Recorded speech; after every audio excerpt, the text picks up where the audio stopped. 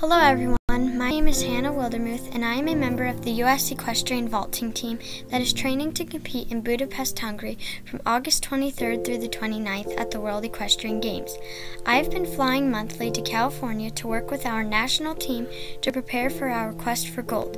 We are currently looking for local sponsors to help make this dream come true. Please consider helping me through our nonprofit club, High Flyers Vaulting, located here in Pottsville, Pennsylvania. I appreciate any help that can be given and promise that we will do our best to make you all proud.